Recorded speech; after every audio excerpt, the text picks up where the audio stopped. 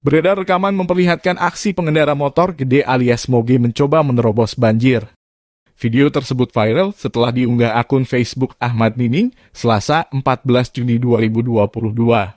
Dalam rekaman terlihat pengendara moge berwarna merah mencoba menerobos banjir setinggi lutut orang dewasa itu.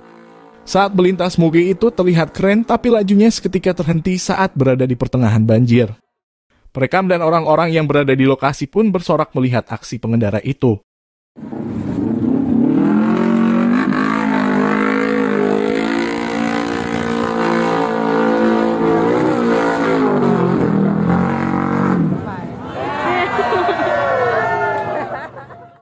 Tidak diketahui seperti apa kerusakan dari motor itu, namun warganet ikut tertawa melihat kejadian tersebut. Itulah tadi update video terbaru dari Transnesia. Jangan lupa pantengin terus video-video dari kami ya. Terima kasih Transnetik dan sampai jumpa.